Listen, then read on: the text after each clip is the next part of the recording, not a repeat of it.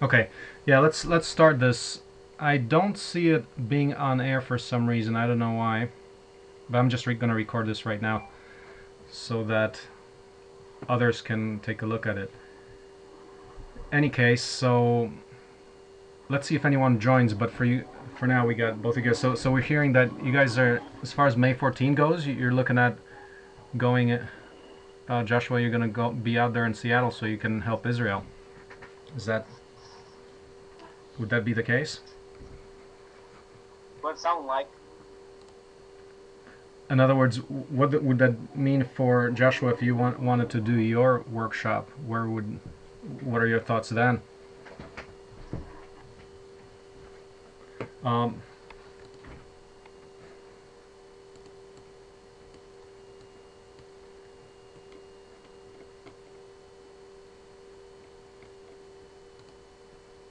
Sorry about that. My Hi, Stacy. Um, what was the question, Martin?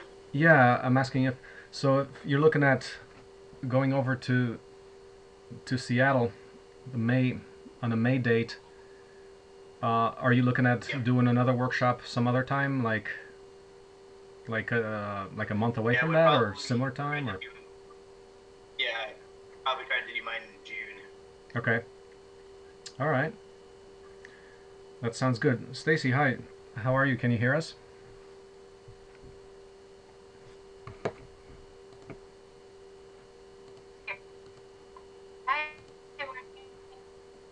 Yeah, I can. Okay, good. Can you hear me? Yeah, it's um your sound is a little little Uh, off, but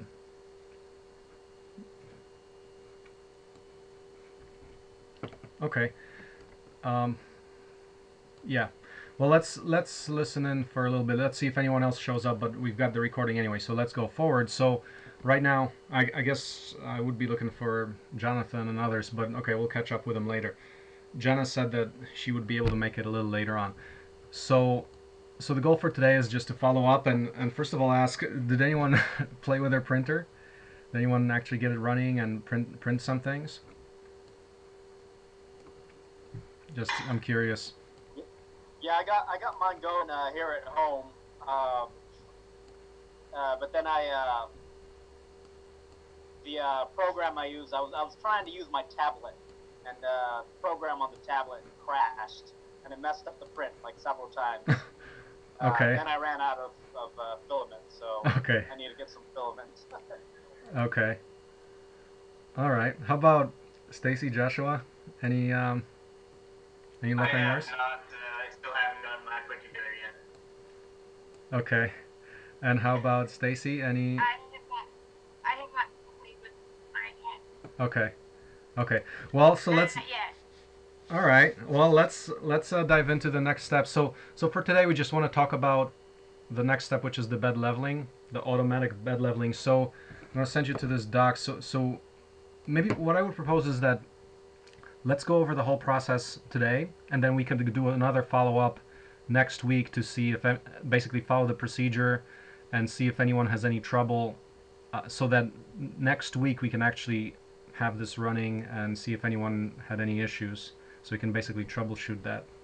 So that would be, let's see, who who's joined us? Who else we have? Me. I tried to get on the link there and it didn't uh, didn't work. So Oh, okay. I ended up being on the previous call. Oh, okay. How come it says Hermit? And that's that's you there? No. Who is that? Is that okay? Uh, some weird. It's showing her. It's showing Hermit on, on the. Is that okay? Anyway, no problem. No problem. John? I said it's John, or is it John? That was Jonathan piping in, and um, I don't know what happened there. Okay, so I'm gonna paste in a document here. So if you can take a look at this, so we can go over this as far as where we are on that. So if you click onto that document, automatic bed leveling, just basically some details of what to do. Now the first step is to to get a get your hands on a the 3D printer part, which is the holder such that so I see one person came in so if you other guys can can go into the document in order to get the bed leveling working, there's a few steps. So first is is printing out that holder that which attaches the the sensor. And once you mount that, then you run the software to do it. But the first step I'd say would be this. Now, you do need to have the access to that. So I mean, what I can do is I can offer to send you send you guys this part. I just printed this out here. It takes 10 minutes to print. I can send this out. It's just basically a thing that looks like like a ring, and um, the CAD file is is there as you see as an STL file. But that's that's easy to print. So maybe I think probably the best thing if if you guys um, haven't gotten prints yet, I would say maybe I just send it out to you guys and and um, maybe collect your addresses and send it out to you. It's an easy easy thing to to acquire. Uh, so with that part in place, there's a few steps of how you attach it. You have you basically have to take off the fan from the uh, the extruder just by removing those two screws that are on it. So I'm on page four. If you guys, um, so I see two people are in the document. Who who else is not wasn't able to get into the document? Um, well, anyway. Um,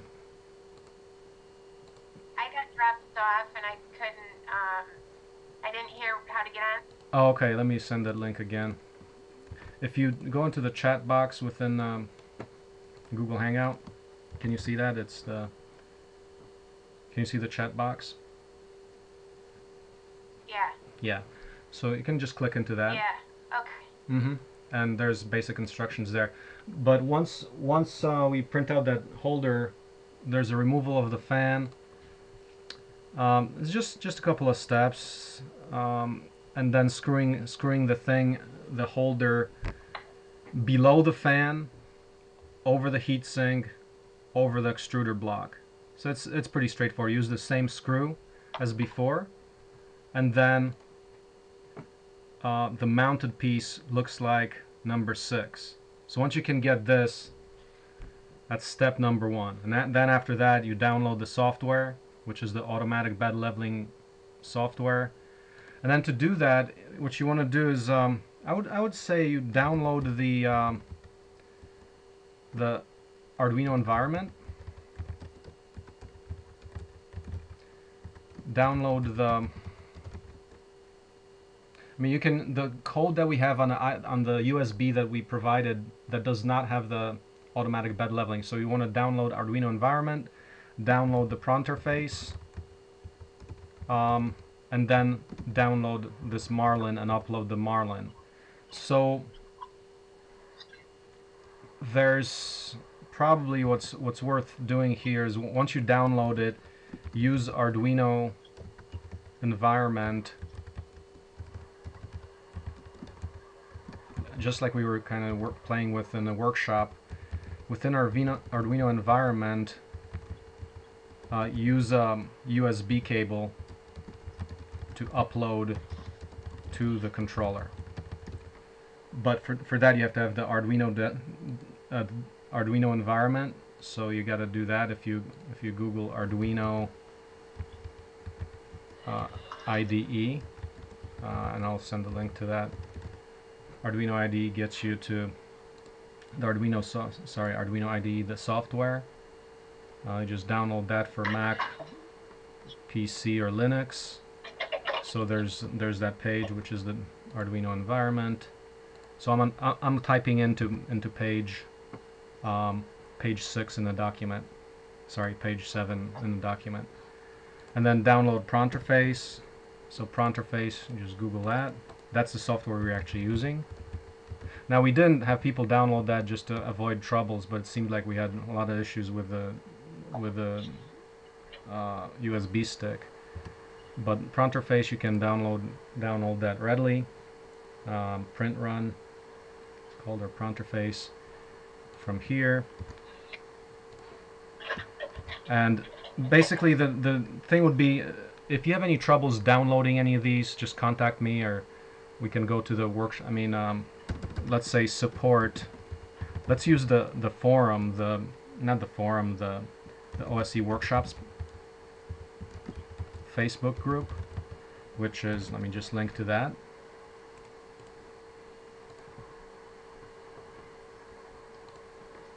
uh, we can have discussions there just for support. I'm thinking that all the stuff that's comes out of workshops, the relationships there, we can uh, continue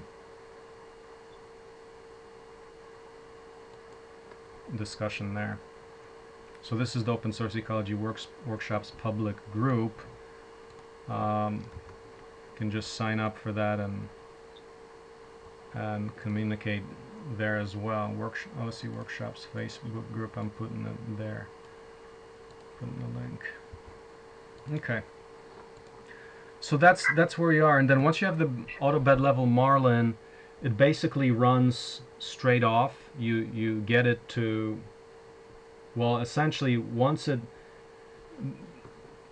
yeah, there's one little detail within Arduino, within uh, Marlin, and we can get to that as you guys download it. You have to do settings in there, and let's see if you click on that link for the the Marlin.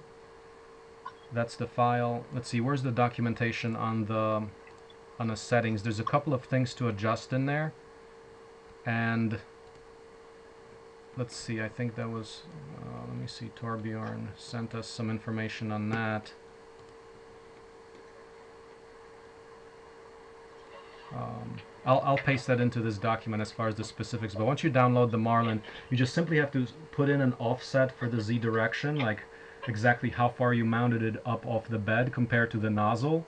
You just have to put in that number once you have the thing running and then then you'll get basically once you hit hit a print job you should be able to well first you got to test test that the height offset is good but with that you never ever have to worry about the the height leveling the height sensor well the, the the manual leveling with a piece of paper looking at all the corners. You never have to worry about that again because the code adjusts that automatically for you with a sensor now, the only other thing is you have your, uh, so I'm holding the, your metal print surface. You also have your sheet of BuildTak. Stick it on. This is a magnet, uh, a, a surface that the sensor will pick up. So you have to basically put that right on top of your heat bed.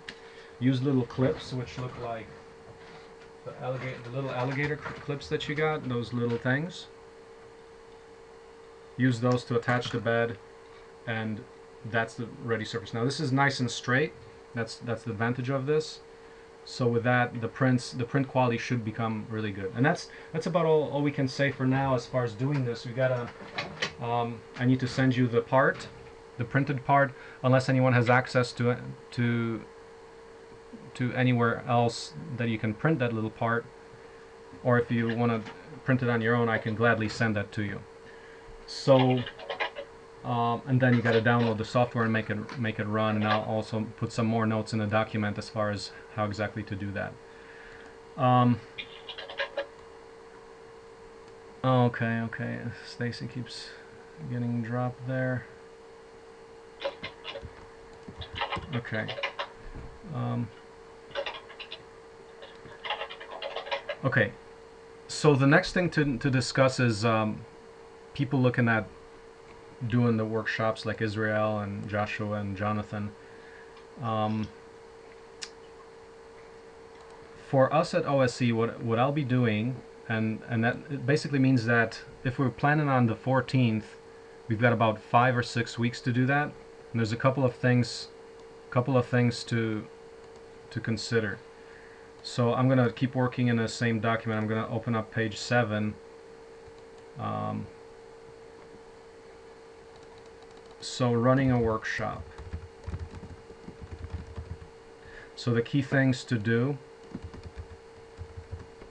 um, for anyone who's considering that, th this this would have to happen within the next two weeks. I talked to Jenna, I talked to also talked to Israel, uh, regarding some further steps, but um, can you fill me in, guys, or at least Israel? Have you have you taken any steps regarding any organizational organization work? Yeah. So the only thing I've done so far is uh, I actually uh, talked to someone about a space. Um, so that will be available on a you know donation basis. Mm-hmm. Um, besides that, uh, I've just been looking at your uh, spreadsheet, looking at the critical path. Uh, still not sure exactly what critical path is going to be because it's obviously going to be different, right? Yeah. We're going to have to maybe add some stuff, take some stuff away. I'm assuming. Yeah. Yeah. Let's take a Uh, look at. Also, I noticed. Yeah. Go oh, ahead. No, go ahead. Uh, I had a question about the audio video requirements. Will, will there be any audio video requirements for, for these, uh, I guess, Splinter workshops? Uh, sorry. Say that again. Uh, will there be any like specific audio audio visual requirements that you have? Because I noticed uh, there was one thing in the wiki that was about securing venue, and it was said there was some sort of audio video video requirement. Yeah. That just basically have a, a monitor available? Right, that was with reference to people being able to see the instructions. Like we had the the overhead projector, the overhead screens this time around. I mean, that's insofar as people can hear you, so that's that's really that. Um, it'll be. I mean, basically, what we want to have people do is just take pictures of the event and you know just a little bit of documentation. Uh, biggest thing is to have the experience of actually can people run it and and, and that part. But basically, what um, so that's that's not a big deal. But the the two critical things that I do see happening is the written instructionals and the micro chunking micro chunking video instructionals. So we should talk about what what's required to do that. Um, but before that, let me just uh, send you a link to the to the critical path. So when I when I say critical path, just some of the critical items that are before, like when you organize the event. Uh, there's a thing called a critical path template. Um, on the wiki, I'm pulling it up. So it's just a sample document. So, so the link is like this. Uh, in it, you want to have critical cutoffs, like like really secure venue. You gotta have an announcement. I mean, an instructor. I mean, like you, and a, an instructor and assistant. You have to secure that. You have to secure an announcement. Announcement. Um, plus some web presence, like even if it's a Facebook page or something. Um, and then also have the OSE branding. Like basically, if if you've got a design, you know, basically this, if you're running this workshop, we can help you publicize that, kind of certify that you're kind of running under our wings with that, based on certain certain requirements. Uh, basically, that you're that you're open source, and then you publish everything about this and use our model where you're uh, following this Prusa i3 build. Um, so we can help with just getting the word out there a little bit. Um, some of the critical, the, the biggest critical path item is that you have your your bill of materials sourced, so part sourcing, and that that thing you have to start start within four weeks and and within contact so contact the supplier which is Folger Tech four weeks ahead of time. And then like make sure you're sending out every single order by like two weeks ahead of time. If you have to basically have them ship like two weeks ahead of time but as long as they know that they have already prepared your order for you so you got to check in with them ahead if depending on how many printers you're getting because if you if you flood them with printers like 12 24 printers they might they're a small company so they might have trouble trouble delivering if you don't give them a heads up. Um, time for shipping. Um, so that's basic milestones but it would be good to keep track of that uh, why I suggested the critical path template uh, sample critical path diagram. Uh, I'm going to share my screen here. Um, Yeah, and there's some. Yeah, this critical path diagram is just basically timelines, a flow with a date on the x-axis, and the different steps you have to get there to run a workshop. Just just so you kind of keep it clear in your mind. The other thing is if you're doing this and collaborating on this, um, keep a lot work log so that we can help you out. Um, so work log is there's a page called work log. There's a little little instructional video of how we do that. Basically, what do you do to what do you do and why it's important. It's basically to help everybody collaborate on a project. But start a work log, like you can see my so creating a work log video here. But like Marcin log, you can see you can pretty much follow all the stuff I'm doing, and that helps people collaborate. So start a log. Um, so start a work log. Those are some of the main main things. Work log. I'll show you an example. Well, a link to the other page, which has the instructional.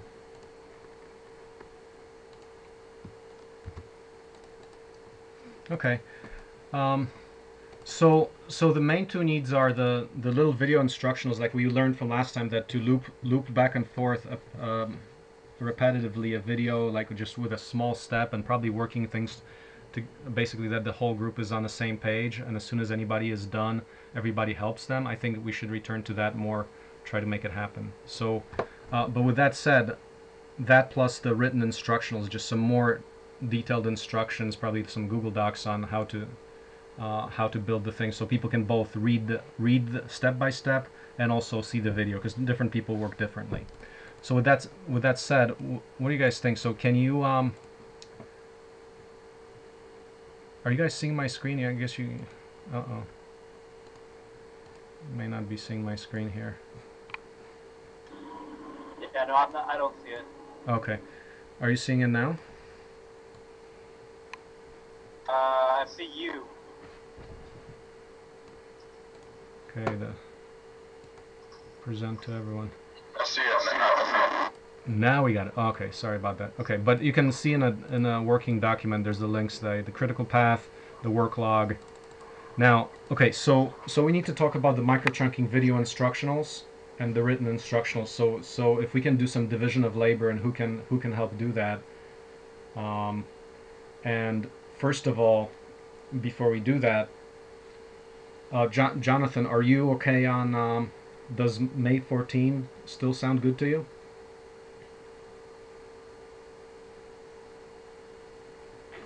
Just checking in on, on a timeline.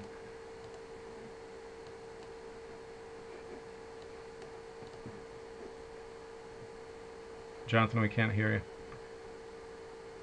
Okay.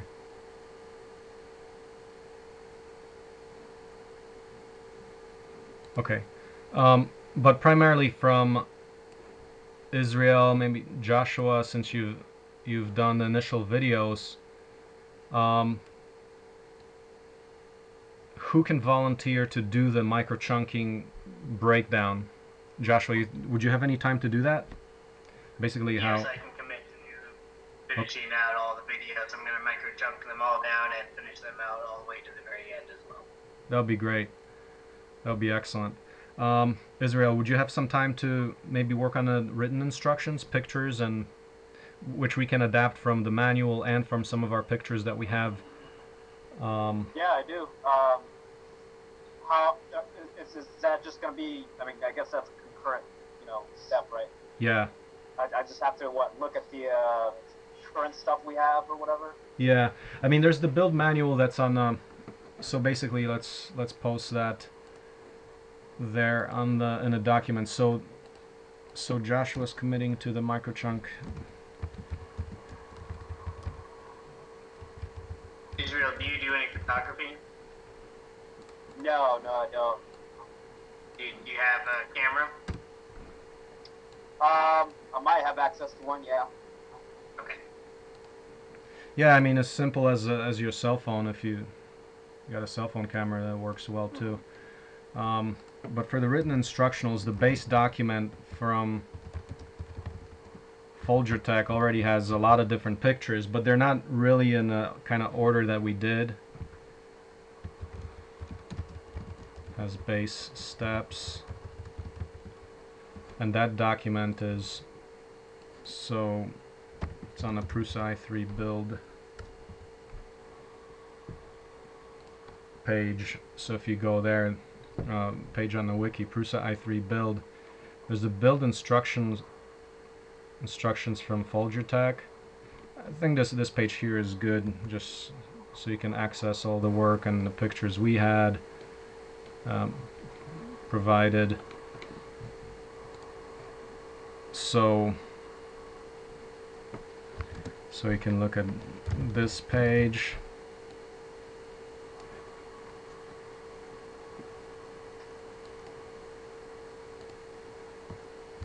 Just put a link to that and then also the one we were using yesterday the build optimization the the modular build modular build instructions that was the Prusa i3 build optimization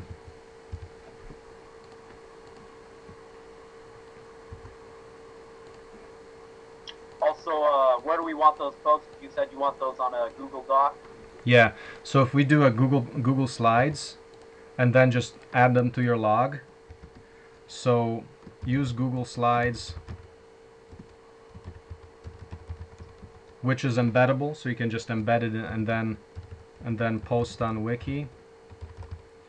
Uh, what we can do, so so let me just show you this, then and then post in the development spreadsheet, the the overall page where we have all the documents.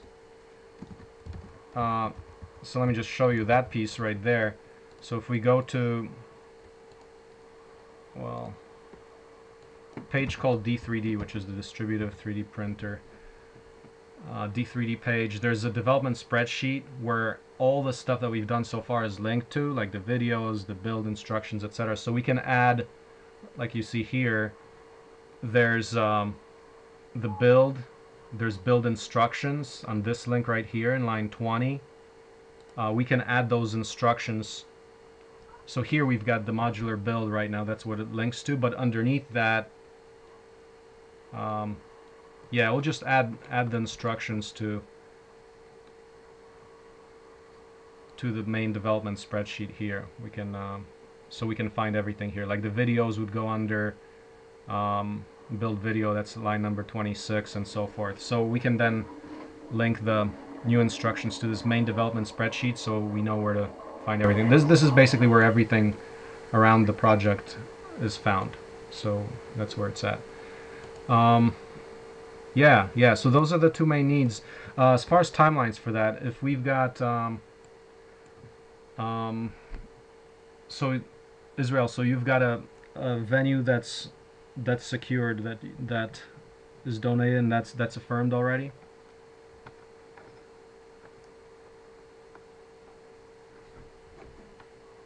Well, yeah, they only uh, requested a donation um, Okay. from from from me. Okay. So, so you're okay on that, and and how many people can that space fit? Sorry, what, what was the place? Did you mention what that was? Did you say a hackerspace? Yeah, it was the yeah, it was the Soto hackerspace. And how how or much maintenance space? How much space is there? How much what? How much space is there to f- for how many uh, 3D printed Uh, boards? I asked I asked them for uh, if they could fit eight to fifteen people. Uh huh. Did that sound about right? I mean, Yeah. Yeah. and I've been there before too. Uh, it would definitely fit about that many people. I think. Eight to fifteen. Yeah. Yeah. No, that's that's good. I mean, I think um, for a successful event, I mean, as if as few as six people sign up, that's you know, that's that's good good enough. So what about details like the cost structure and um, cost structure for one, and the announcement payment handling? So just just for reference of others. Um, so other details. So what are you thinking of charging people for this workshop? Yeah, that's what. Uh, I'm not really sure. Like, uh, it, it's got to be at least the price of the kit, right? So Yeah. Anything more than that. Yep. But is there like a certain percentage that I don't know? Is it is there a standard percentage? Yeah, I mean what we've done is um, I guess. right. It's it's anything. It's basically if you're gonna run that, it, it would be basically what what covers your time for doing that. Um, so so you can make a decision based on that. But I mean, um, yeah, yeah, that's a decision. I mean, we've done basically the six hundred dollar thing, which was about three hundred above the the the price to to make this self-sustaining. Um, I would say anywhere between like 150 to 300 bucks for the per seat, and probably do uh, like we did the two for one, where you bring a person for free with you, which is a good thing. Uh, so that's that would be the suggestion. Uh, I would say, um, I'd say as a general general thing, 150 to 300 dollars above material cost to to make sure all the costs are covered. Um, and then you have to consider like if you're gonna eat lunch or whatever. And as far as the timing, what are what are your thoughts on the time? Like 8 a.m. to 8 p.m. maybe something like that would be a good standard to do. Yeah, and that that's that's what I told them for the space was eight to eight, just Uh-huh. just following what you guys were doing too. Yeah. Uh, obviously, we went over, but I'm Right. hoping that you know, with Right. a few more refinements, it won't be as long, right? Right, right. And what what is our conclusion on the the number one or no, couple of biggest keys to making it go a little better? I think. Um, what's our conclusion on that? One, definitely people called out for the instructionals that people can um, can be better informed. But I think if people if, if it's done in unison and people actually help others, I think I think that will save a bit of time there. And of course, the number yeah, one. um, Yeah. Go ahead. I, I, was, I was gonna say, um, like, I, I don't know if this was done or not before, but uh, to, to like know explicitly what steps can be done concurrently, like that might be a big help too, just so people know, you know, ahead of time that oh, these two things can be done at the same time. Not sure if there is some just some explicit way of doing that. Maybe putting things in like a table or something.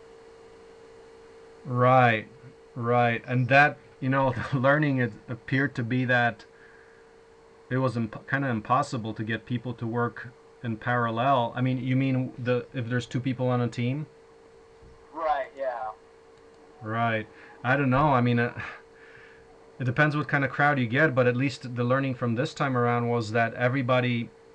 Uh, it wasn't that two people were working in parallel. It was that everybody just helped each other, and the only way that we can address that potentially is if there is a like basically every person gets instructionals that are parallel like okay you you do this and the other person does that and you have like literally two instructions for each module but we know that Right. we were trying to trying to make that happen that people would do that i think it's possible we should try that like when you do the instructions the written instructions um, and with the micro chunking instructions I think that that could work together because okay, micro chunk it. There's one step. Say you know, take the frame, the bottom frame, top frame. Um, we can say okay, explicitly one person do that and the other person work on the other one. There's two separate instructionals, two sep, two separate videos. I think that could work, but at least we know that in the last event that didn't happen, and that's that's a piece of learning. Um, so I think we can. I mean in theory, you can say that, oh, okay, you can almost double the time if people can work absolutely in parallel. Uh, but at the minimum, you could you know get like 30% or so of time reduction or something, which would be a couple of hours or so. So I think I think it's definitely worth a try and to shoot for that kind of learning. Like, okay, did people actually start working in parallel, or was it so unknown to people that people just kind of helped each other in their individual team? Um, how about um, Stacy? What do you think about that? Maybe get your feedback on that.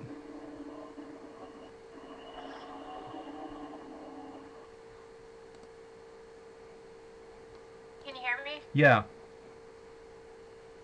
Yep. Go ahead, Stacy.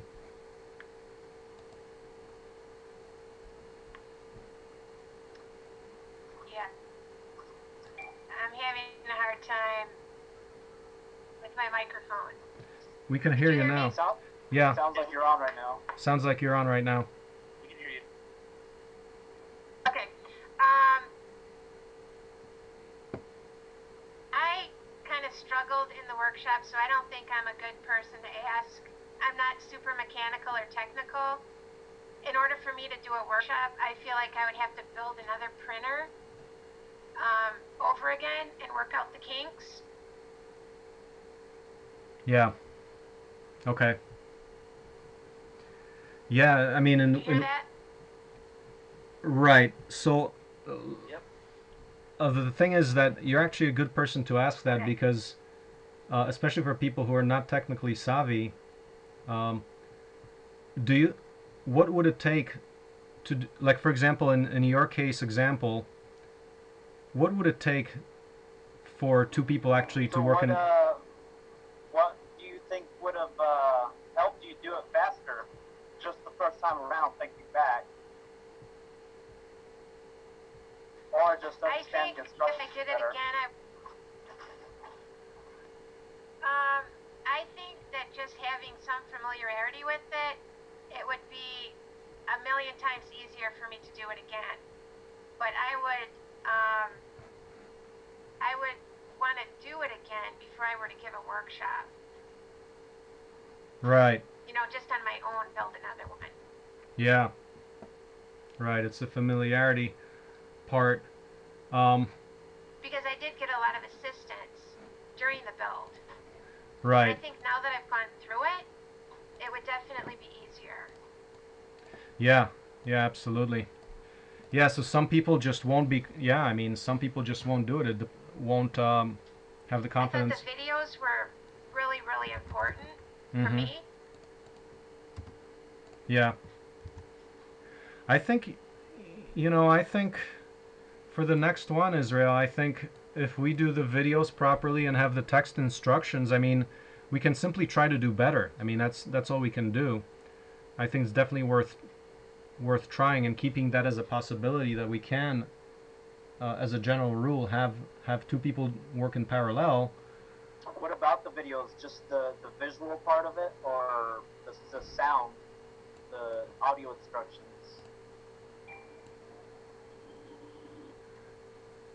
Uh, you're asking what's. Sorry, I'm missing the question. Israel, can can you uh, you're muted? Can you repeat it? You went on mute. Oh, sorry, sorry, Israel. Can you can you repeat? Um, Israel, repeat your question, which you asked asked about the video instructionals. Oh yeah, I was just wondering, uh, what about the video was it? Was it the did did it help more to, to see it visually, or did it help more to, to hear it? I think for me it was visual. Seeing it, Yeah. Yeah, and that could be Now, addressed. Another question is is if there were like text uh, ins- text instructions along with the visual and the video and the audio, would that add to it, or would it be more distracting maybe? I mean, for me, I just learned better with visual instructions. Mm-hmm. Right, and I think it depends on who the person is. I, I think that some will gravitate towards the visual. Some people might use both, but in any case, we we need to have both available because we don't know who's going to be at the workshop, and it's the more resources we have, the better. Um, I don't know if there's a way to. Really useful thing is if everybody's looking at a computer screen or like or a tablet of some sort. Maybe we can focus on on having people bring bring their computer uh, and possibly do something like. Um, I mean, a PDF that's prepared before that people have access to, like a, you know, a week before the workshop, they have a complete PDF of all the steps, and and we have them review the videos uh, before the workshop. I think that that might help, but definitely having people um, um, emphasize the need for just bringing a computer that you can wa- look look at it. I think that's that probably could be a good help. Thoughts on that?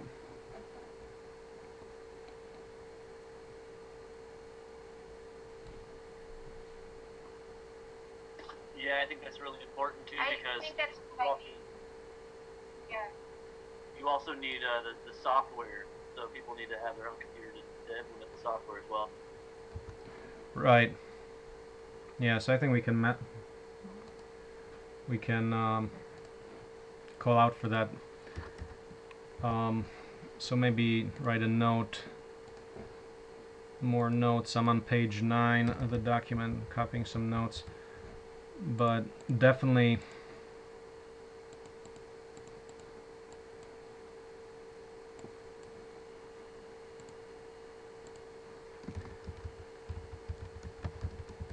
Emphasize a computer for having your own notes. Um, it might be. What about people bringing also just like an earphone set? Because I mean, if everybody's playing their computer with the sound, can would that get kind of like messy, too noisy, or? I was just just thinking about that, but maybe maybe say bring bring headphones.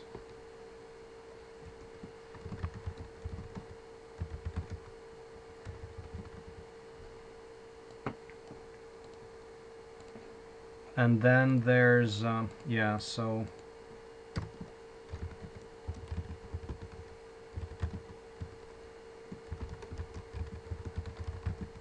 Yeah. Taking some notes. Headset is always preferable. Pre-workshop video. Hmm. That's a that's a good one indeed. I was uh just thinking about uh, another thing too. Is uh, would it be too much to try to send participants like uh, ahead of time overviews maybe? Yeah. So they can look at it at, at on their own time, like before even coming to the workshop. of the build just details Right. about the build yeah i mean it, it could definitely work the thing is like why i didn't really emphasize it this time is i know that a lot of people don't don't really look at that kind of stuff before the workshop because they're pretty busy but um, i think that no that's definitely worthwhile i mean some people will do that some people at least will will review that and, and be ahead of the game and i kind of possibly even call out for um, um, even like challenge people in announcements saying, hey, we need some people to step up to kind of like help others, like the people who are better, who feel that more confidence in their mechanical skills. Um, you can kind of like maybe work with them a little more up front and say, hey, um, make sure you go over, maybe go over the procedures with them or something like that. Yeah. So basically, pick out leaders.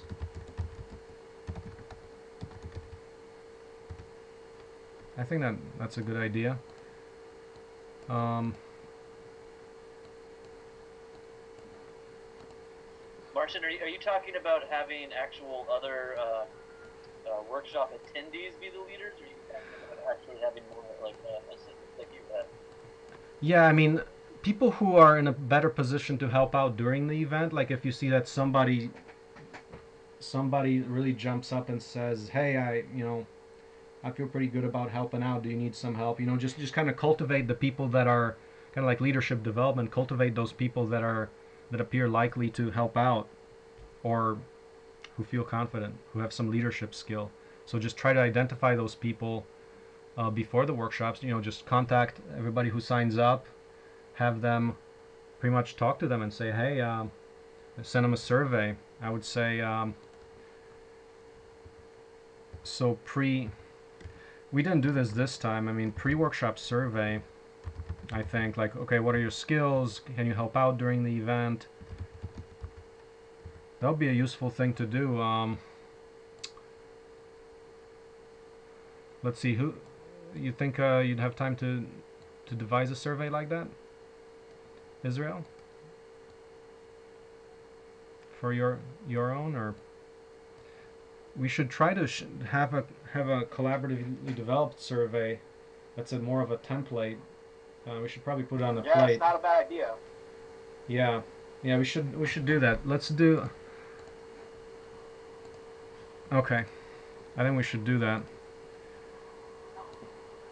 Would you be using a, a Google for that too, like a Google survey? I'd say a Google form would be good for that. Mm-hmm.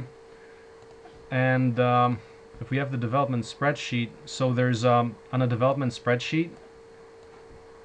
See you guys if you keep looking at my screen there. So on a spreadsheet itself, there's a second tab called Event Organization, and it actually has a lot of different assets for event organization. Um, with just various notes that we picked up along the road. You can review a bunch of that. But um, so there's things like event announcement, but let's see, do we have a placeholder for workshop survey? See, that's more like a like a survey after the event that we've done, but we should also have a pre pre workshop survey. So that should be a definite placeholder. Should definitely have a placeholder for that. So I'm going to add that to the development spreadsheet. So under event organization, I'm going to put in um, line number so it was under continuous quality improvement number 25 so let's insert a row above that to say workshop pre-survey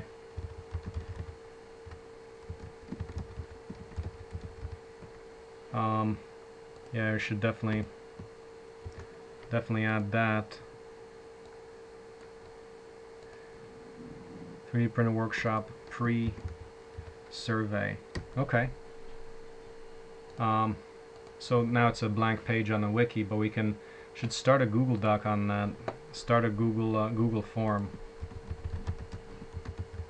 So basically, the things um, things to look at look for questions such as um, assess someone can rise to leadership to some form of leadership in a I mean maybe maybe like propose a couple of tasks to get people involved like um, for example review the build instructions and see if they appear clear to you you know things like that such as reviewing videos or build instructions so we can basically have the people in a workshop start getting involved in actually adding to the quality of the, the materials. Uh, so various things like um, other crowdsource tasks or doing other things like if people have other skills um, there's a I'm going to point you to on my log actually put a there's a lot of different ways that people who are not computer programmers or tech savvy can help out on projects. Uh, I just saw um, non how non-programmers can contribute to open source projects. There was a good article on opensource.com, so I'm gonna link to that. But there's a bunch of stuff people can help out here. They say use the product, bug test, write documentation, translation, evangelize, donate, be professional. Ah, some some hints there. Um, use the product. Yeah, I mean, that's it's a decent decent article, but it it's worth um, it's worth requesting people to do other things like for example infographic like if we want to get a you know have somebody do an infographic on a 3d printer various things it depends when when the person signs up and stuff like that Um, but definitely pre-survey would be a good idea. What else to cover? So as far as the registration part, uh, what we do recommend is Eventbrite because that's a that's a good good platform. It it works. And uh, so that would be on a as far as the roadmap, critical path, set up Eventbrite. I mean, announcement. Then for the announcement, you have to have an Eventbrite set up or some other um, some other registration thing. Yeah, yeah. What are some um, so any other questions or any any issues that Yeah, I was, I was, gonna say it might be important to differentiate between a co-facilitator and student. That would be helping because you might you might get a lot of volunteers that are going to spend the workshop that really think they can do it, but they won't be as helpful as like say Jonathan or Joshua were in our workshop. You know, because you, you came with like a team, and uh, I think that I think that's really what made it possible for us to lead our adventure. yeah so differentiate between facilitators and who and other students who would be helping out. Because if, if you just showed up like like you did, you, you were counting on the student to help the, each other out. I don't know if that would work no out.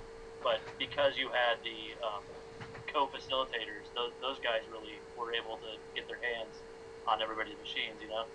Right, right, and um, th- th- what it requires is that the pe- the people who are the co-facilitators actually have done the build. So the only suggestion I would have for you is that if you do have a a, a person that you train to help you, you definitely want to go through a build, right? Mm-hmm. Just just like so they could be as savvy as Joshua or, or Jonathan were at, at the workshop in Kansas City, Right. where they they could really sit down with each student and walk through them. Yeah, I mean you if can. put uh, onerous on, on another student, then they could possibly volunteer too heavy, and they can really contribute.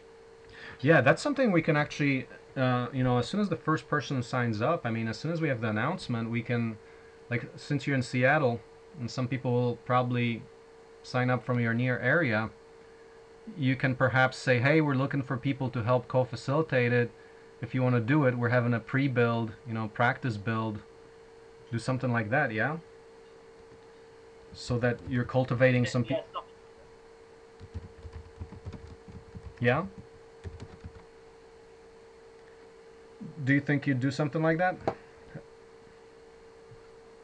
yeah, I've, I've been talking with Israel, and I- think it would definitely be beneficial to have one main facilitator and then several co-facilitators. And then if we have if we have overachieving students, then all the better. Yeah. Yeah, one main facilitator, and I think the the kind of thing you want to shoot for is, um,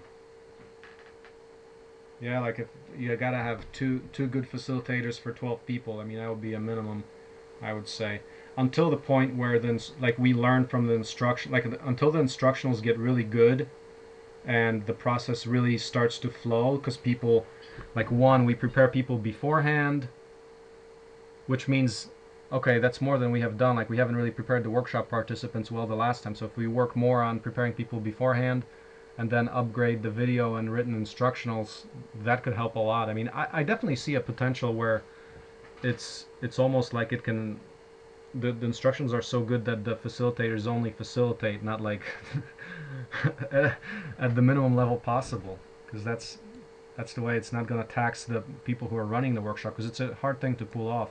Another thing is, uh, as far as the prep time, once you get the kits in your hands, there's a bunch of. Um, yeah, we should actually talk about the part of organizing things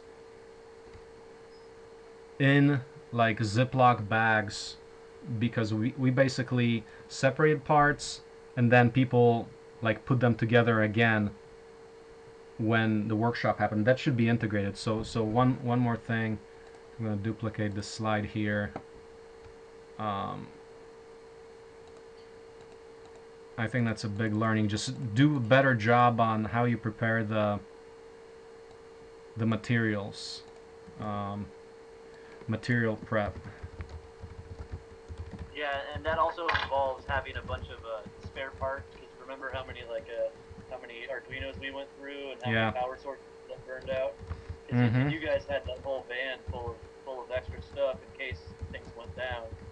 Yep. So, so that was yeah, that was a pretty key thing. I think that happened too.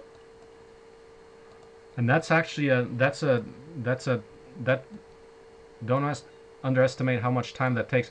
We spent like uh, probably three days uh, preparing the materials. So yeah, you got you just got to put the time into that. Um, the biggest thing was like separating out all the bolts, like organizing all those. Those were like took out the most time.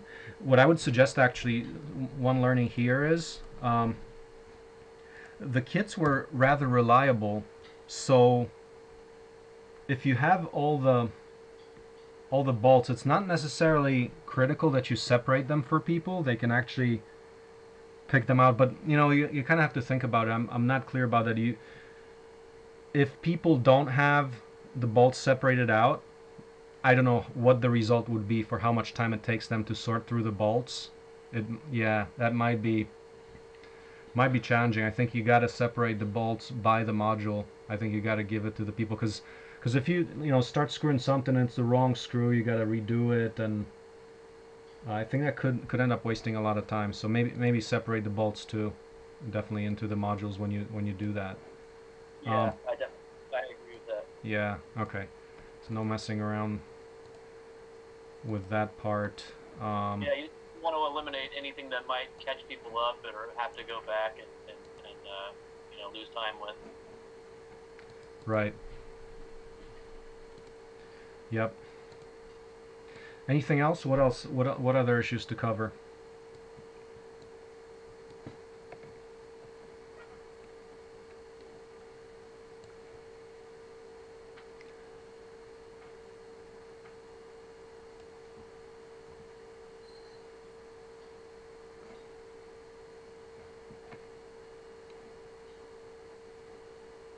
It seems like there's a lot of different places to go to get information.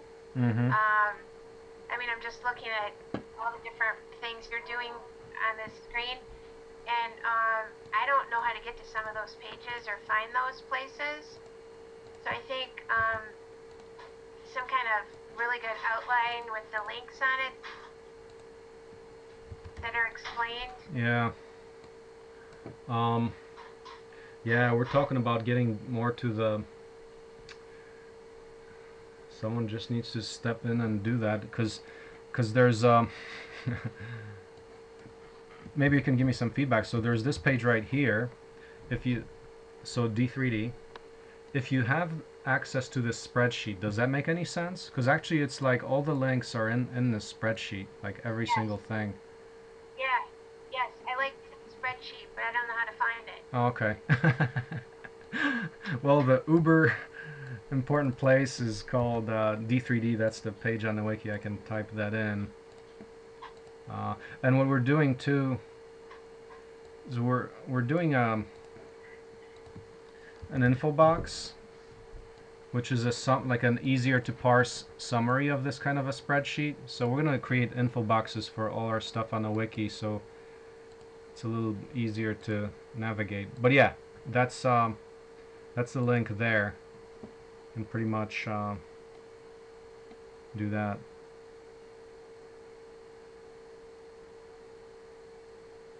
Yeah.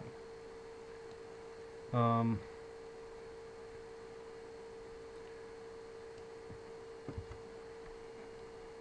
Right.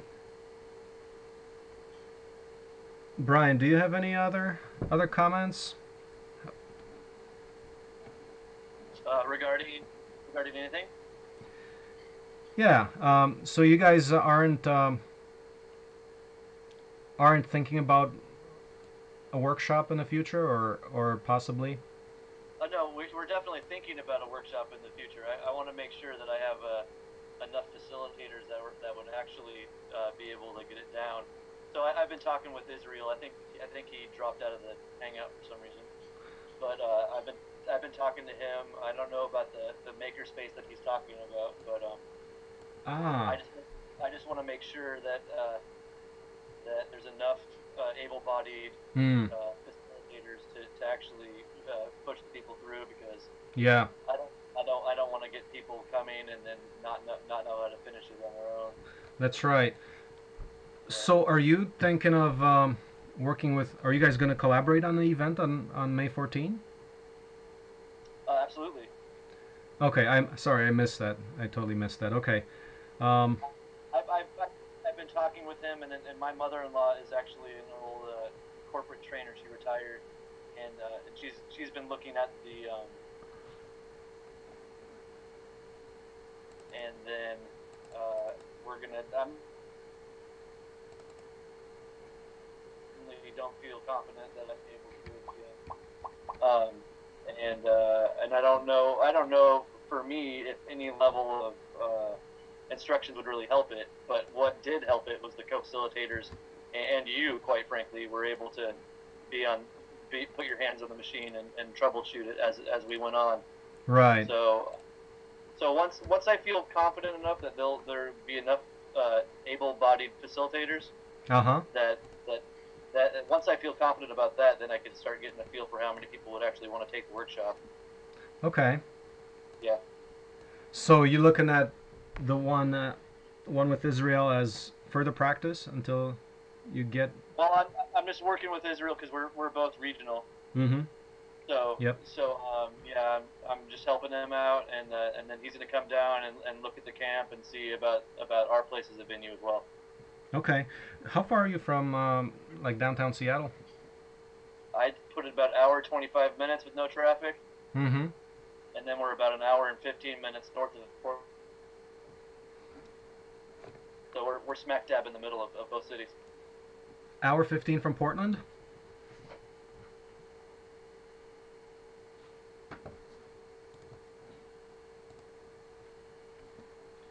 Brian, you mentioned hour hour 15 north of um, north of Portland. Yeah. Oh, yeah. So that's yeah, you got opportunities there. Sounds good. Um, so the yeah, that's pretty cool.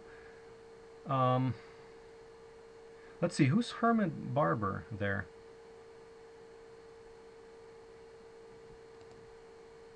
Who is that?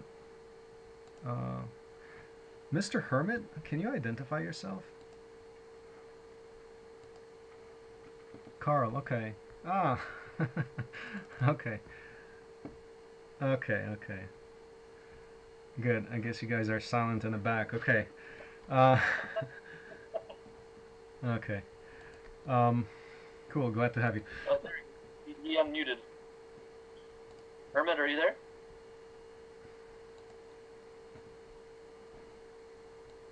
Maybe. Maybe his mic's not. Okay. Um, so anyway, uh, one of the last things I just wanted to go over is uh, so so product evolution. Uh, if you, my log is where I always go back to to find stuff. Uh, product evolution. I've been doing this, but for the workshop in Kansas City, this area here. So this is the design evolution document. But the simple thing that we're gonna do for next time is we're gonna take the guts of the Prusa i3 that we did and here's kind of like the the design iteration if you guys can see my screen there yeah I think you guys can see it it's on the 3d printer roadmap um, you can click onto that but basically the um, the design evolution here is add an enclosure for the second time and why that's because there's an interesting feature of that. If we add the enclosure and make it super easy to build, just four, basically four sheets of metal that are CNC cut with all the holes to attach everything else, that can in principle save. I mean, it took us two hours to do the frame in the fir- in our event. This could be as simple as snap together corners, like on the top and bottom, snap together at each corner, and that's it. You got four sheets of metal, five minutes five minutes is less than two hours. So I like that. but the idea is then it also evolves to the to the enclosure, which gets you the heat retention, so lower energy use and higher quality prints. So that's as far as we want to get for the next time. So that's that's what I'm working on here. So that means I've got 10 days to come up with those files and do all of that. But but the cool thing is if you go into that document, yeah, it's like talking about scalability. Um, Y station, Y enclosure, less time to heat up, higher quality prints, less warping, contains fumes. Um, disadvantages, it's more materials. Well, it's not really more materials because you're eliminating the tubing, so it's not necessarily more materials. It is somewhat. Less access to parts, well, that's what you get with an enclosure. Now, if we do the enclosure, th th these are the six items we have to consider that we need to connect. We need to connect the two Z motors to the frame. That means we can simply mount them to the side pieces of the frame. The rod holders on the Z, they need to be mounted to the frame. Four Y rod holders, so the, basically the bed, they are mounted to the frame. The power supply is mounted to the frame. The Y belt holder, once again mounted to the outside frame and the Y motor. That means I need to poke holes in that frame, the metal frame, for all those and then eliminate all the pieces, all the, the extrusion tubings and all those tiny bolts that were associated with that beforehand. So that, that could mean a, a major, major simplification. And here I just kind of went through the interface design. Um, so basically, uh, in this interface design here, the panels receive those holes as mentioned as, as shown here. So basically if I can CAD this out and CNC cut this, then we can accommodate the attachment of all the guts, entire 3D printer, by these um, basically two panels, two so that's two two unique part count. One panel has uh, five holes, one panel has four holes. Period. That's it. Power supply, Z motors, rod holder, um, Y rod holders, and belt holder. That's it. So to draw a frame in FreeCAD, that's the next lesson starting with FreeCAD, uh, drawing the parts in there, blah blah blah. We need to tra train people. Like what I'd like to see the 3D printer workshop evolve into is that people actually learn um, as a construction set, so all the parts are in FreeCAD within easily manipulable, manipulable 3D CAD software. So that's gonna um, in the future maybe have a day uh, teaching people about FreeCAD and design design of an actual 3D printer and possibly where you if you design it we have parts on hand that you can make different iteration different versions like larger or smaller frames different lengths etc so you can pretty much design your own 3D printer and then build it. That's kind of the the next the next steps. But for next time on uh, May 5th, May uh, May 14 that is start with the enclosure. Uh, so that's the cunning plan as far as we're concerned for the the branch here. And that's about all I have in store to. So to wrap up, It sounds um, like that. Go ahead.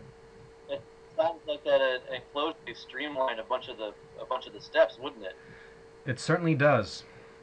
Um, I think there's Yeah, going to be a huge time savings with the enclosure. Now there's a lot of lot of little details to work out because pretty much I think we have to the one one way to do it would be to 3D print all the little mounting pieces. So you've got the the metal frame and 3D printed simple mount pieces and connectors. So that means you're you're increasing a bunch of time for 3D printing, but that could be done beforehand but it's also something you can do with the printer itself, of course. So it, it could really work out. Uh, a little bit of development on that, but um, I think worth it. hmm So that would be the next iteration. Um, that sounds great. Because because I think that would be that would really cut out a lot of the problems that the non-mechanical people would have, and it would just be, be more of like putting something together mhm. rather than something. So like then like the, the final step would be the, the last panel on the front, and then you just click and then tell it to print something. You know, Yeah, I think that would be really cool. yeah, I think so. Um, definite potential there. The advantage being that you can make those 3D printed connectors, just really size them for much bigger bolts. I mean, that's those tiny little bolts are so painful to work with, and a slightly larger bolt. Like I'm thinking, like three eighths or even one half inch, just totally overkill it because it doesn't really add much to the cost, or I don't think it will add any to the cost. Those bolts are relatively inexpensive, so yeah. Um, but to sum up, so so uh, in this um, in the document that we pasted, follow the instructions to add the um, the bed leveling. Email me marcin at opensourceecology.org if you want to uh, want me to send you the part, which is this key-like looking part to mount the mount the sensor. You already have the connector for the sensor. That's all. You just got to plug it into uh, I'll add those docu- that documentation here, but you mount that um, as in these instructions and download the code. And I also have to send you some more instructions on how to do this code. But the step number one is to do the little build upgrade. Go from there and uh, email me to get that. And I'd say let's let's have another call next week, Monday at 6 p.m. as well, to go over the remaining, uh, actually the install of this sensor and also pursue further the the workshop and see how far I am on the on the workshop for doing an enclosure. I should have the files for that by that time as well. Um, so I'd like to sum up with that. Uh, any other last last words of wisdom from anybody or?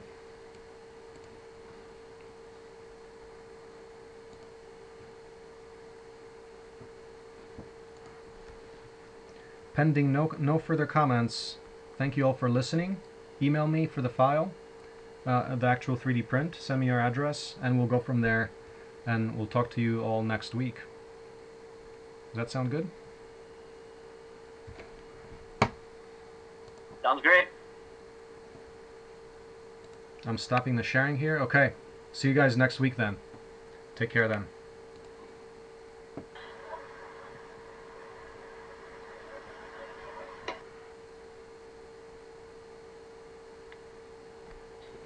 Hey, is really there? Yep. How's it going? Good, man.